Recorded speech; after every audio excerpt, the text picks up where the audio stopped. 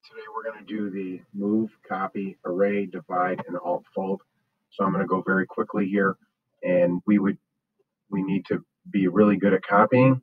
Just going to make a circle that is six inches and I type it in at six inches and I'm going to do hit P for push pull and I'm just going to pull, pull this up. Okay. a little bit thick, but that's okay. Well, that's all we need for right now. All right. I'm going to hit the space bar again and I'm going to select this and I am going to hit the M for move command, which is right over here. And um, when I'm on here, if you see at the bottom, it tells you that um, the copy command is available.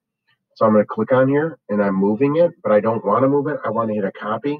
So I'm going to hit the control key and now I am making a copy. So there's a copy there. I can hit control again to make another copy and just put these wherever I want. Okay. So now I want to do an array command. Okay, I want to make multiple of these. Let's say I wanted 20 of those. So I'm going to move my screen just a little bit more to where you can see it. I'm going to go ahead and use the space bar to select. I have it selected. I am going to hit M for move, and I'm going to move this, and I'm going to have this right in this direction right there. Now we're going to go ahead and we're going to hit make a copy, and we're going to make a copy of this, and we're going to move it a specific distance away. I'm going to type in 24 inches, okay? In that direction, notice that I'm in the green X direction, and then 24, and then enter. That is spaced exactly 24 inches apart. The main key is that I am not hitting escape or deselecting. I left that blue. So I made a copy, left it selected. Now I'm going to hit Shift 8, and I'm going to type in 20 and you can see that down here at the bottom in this area right here, shift 20, hit enter, and it makes a copy of 20 times. All right. So there is an array command. What if I didn't know how many it was going to be? I just where I wanted it to start and end. So I'm going to do a different, I'm going to hit R for rectangle. R for rectangle. I'm going to make a rectangle like this. Doesn't really matter. P for push pull. I'm going to go all the way up and I'm just want to be the same height as this one here. So if I touch that, that, that height on another object, it'll give me that same height relative to where you started.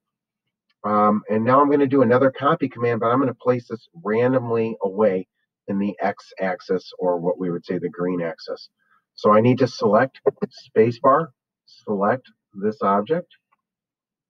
Okay, that's clearly I didn't want all those. So I'm going to hit escape to start over again. spacebar. Want this object.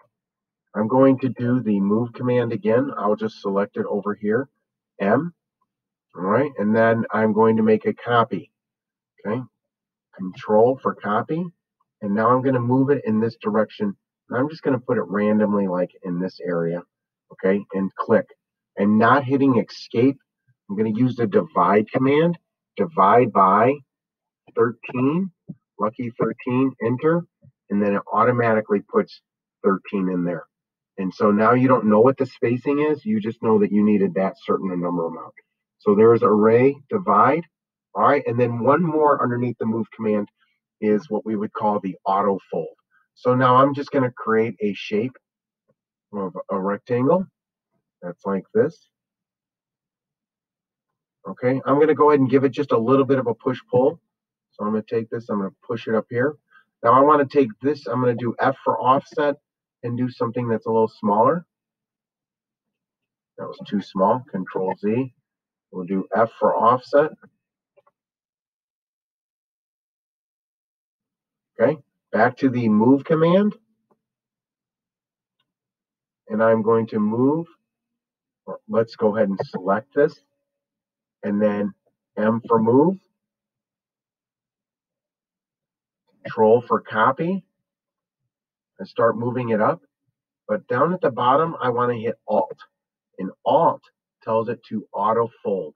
And what it does is does a push, pull, pull. So I copied that up. I used the move, copied it up, and said Alt. And Alt tells it to auto fold. And now it will create that